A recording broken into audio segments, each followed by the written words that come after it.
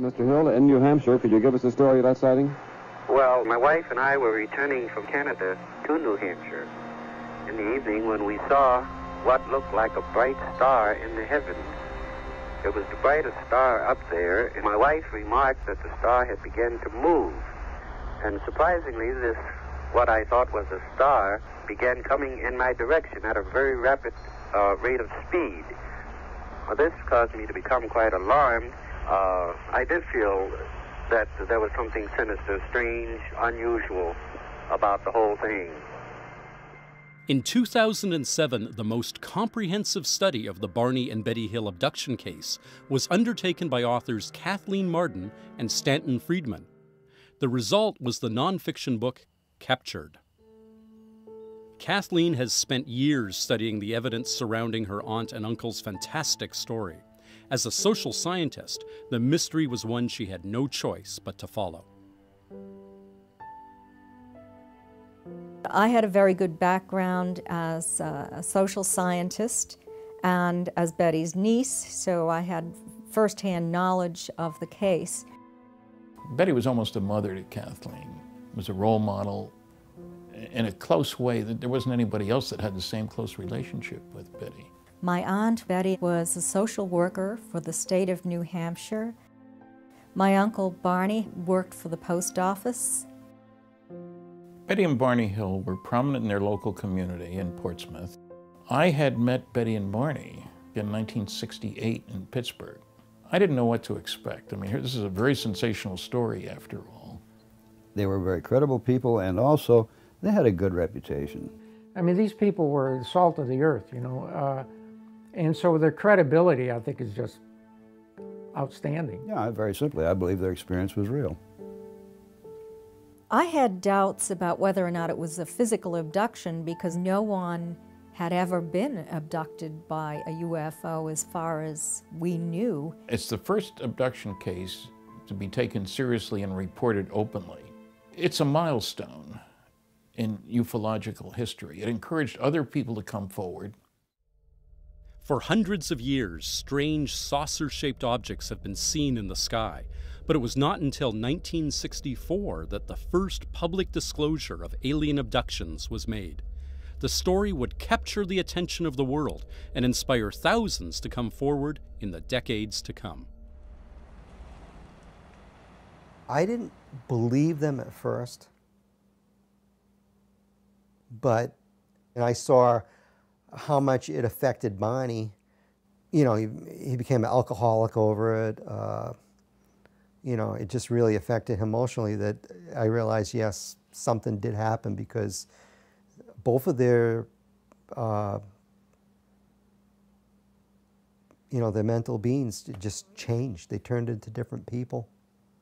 Barney was turned into uh, a very scared individual. For me personally, I felt that perhaps it would have been easier if I could have said this was a fantasy. My aunt and uncle simply made a mistake. Then my family could just go on living, but I couldn't do that. I wanted to find out for myself if Betty and Barney had actually been abducted or if they had uh, created and absorbed a fantasy that they retold through hypnosis. Stanton Friedman is uh, a nuclear physicist and scientific ufologist, probably the best known in the world. I shoot hard. I, I, am not an, an apologist ufologist. I tell it like it is. I have a low tolerance for stupidity. I mean, there's still people who think the world is flat. You know, there's a flat Earth society. uh, and there are still some people who believe we haven't been to the moon. I know that the public is ready, willing, and able to listen to factual information.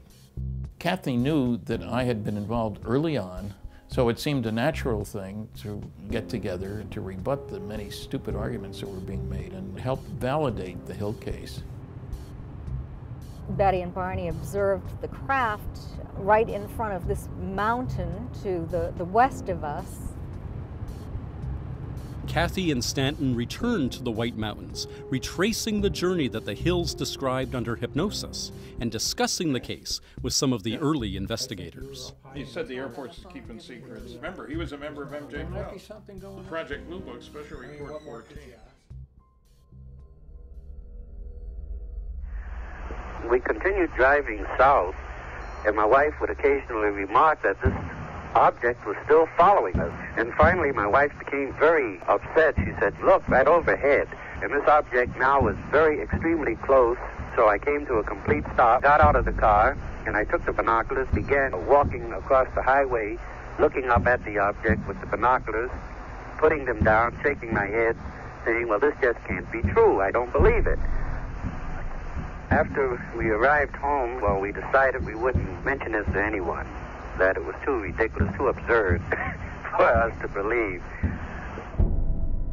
They realized that they had arrived home in Portsmouth later than anticipated. They actually had arrived at daybreak.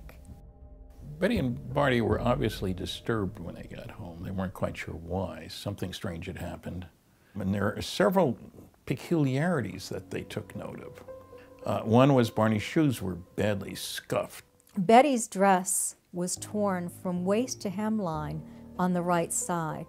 Their watches had stopped. Now, that sounds like a trivial thing, but when both watches stopped. Several days after the UFO encounter, Betty had a series of dreams or nightmares about an abduction by aliens in this UFO.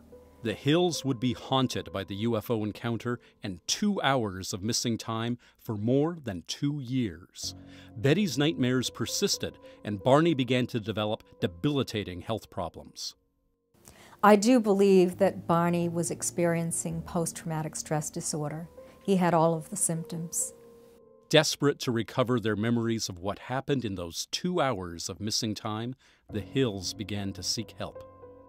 In November of 1962, at the rectory of the Unitarian Church in Portsmouth, New Hampshire, this couple came up to me and they told me their story, and then they had this blank spot in their memories, and asked if hypnosis was useful to recover lost periods of memory. And I said yes. That's one of the classical uses of clinical hypnosis.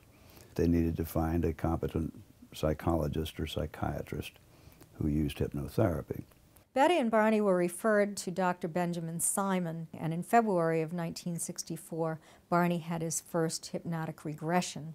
This isn't a parlor hypnotist. This is a man who had treated thousands, literally, of shell shock war veterans from World War II. And his expertise was in breaking through the barriers to recovering repressed memories.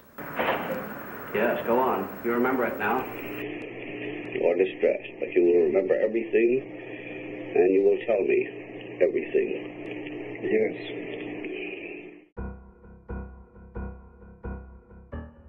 Can't I saw the men in the road. Men in the road? I've never been so afraid in my life.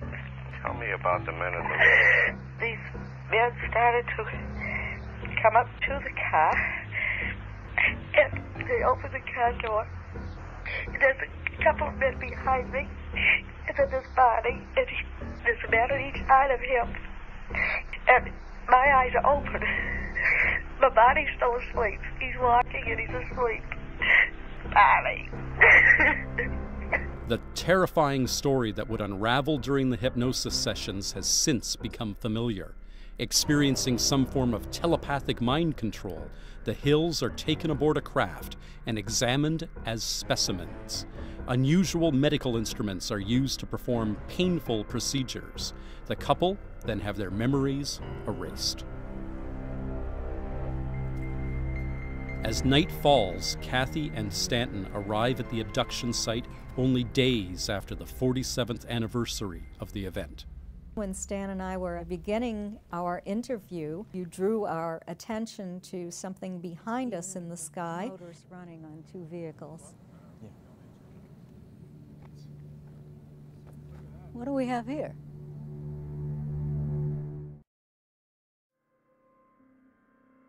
Obviously, what happened last night was a little bizarre. I wanted to show you guys the footage and uh, get your reactions to it now.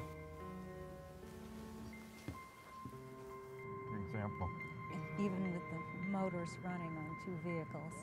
Yeah. What do we have here?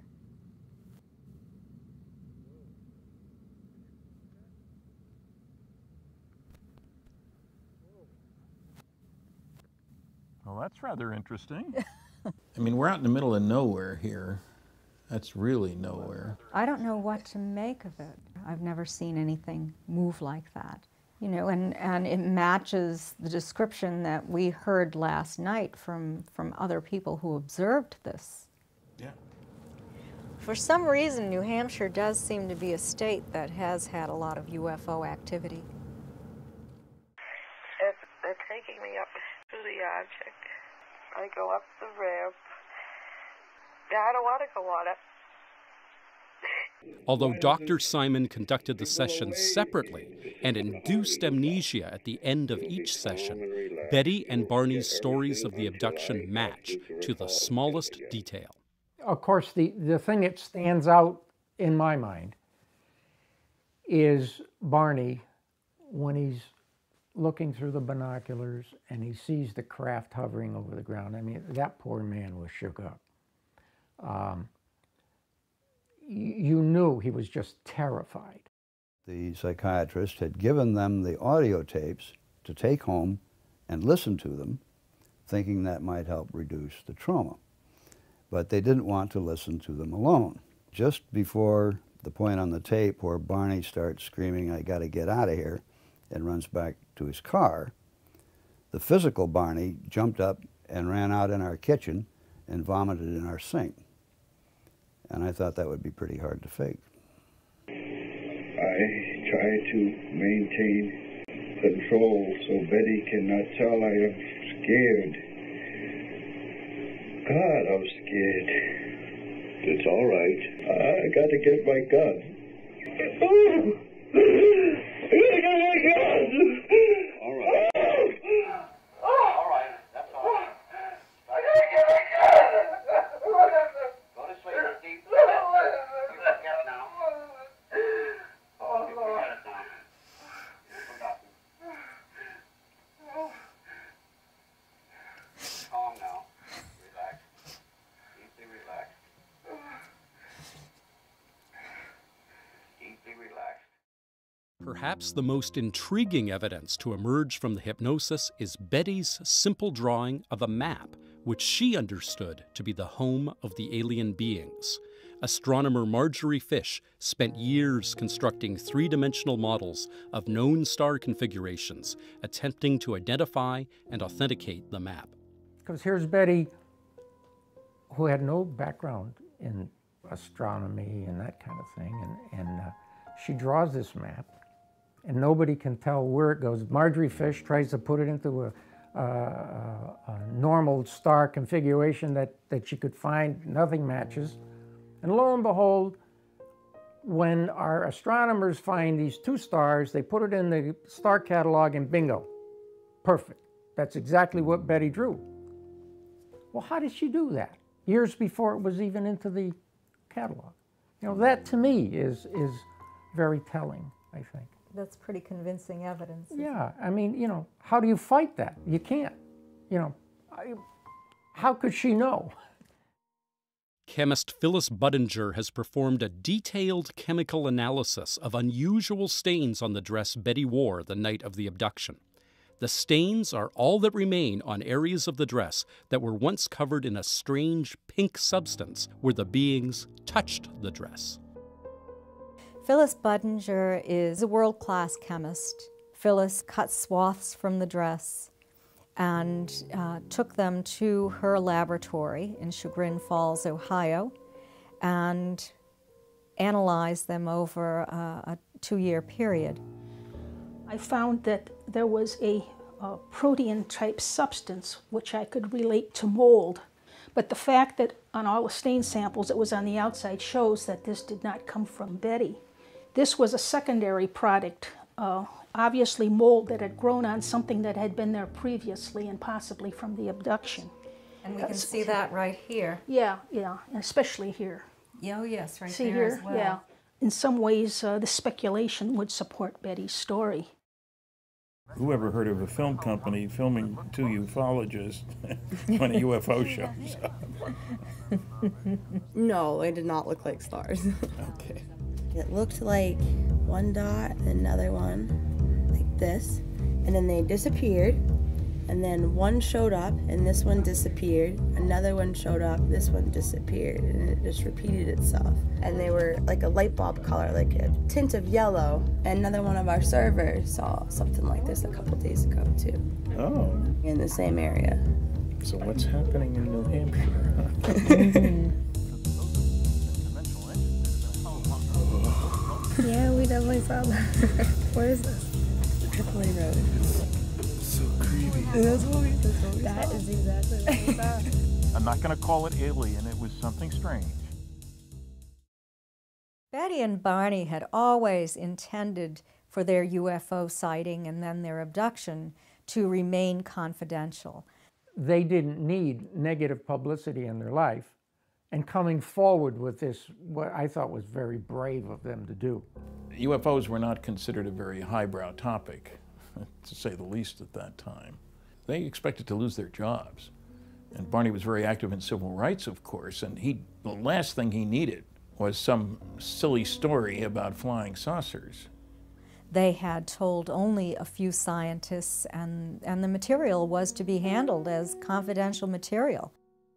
After the truth was revealed through a violation of confidentiality, Betty and Barney agreed to talk publicly for the first time. John Fuller, an author and UFO researcher, convinced them to tell the true story of their experience. The book became a New York Times bestseller.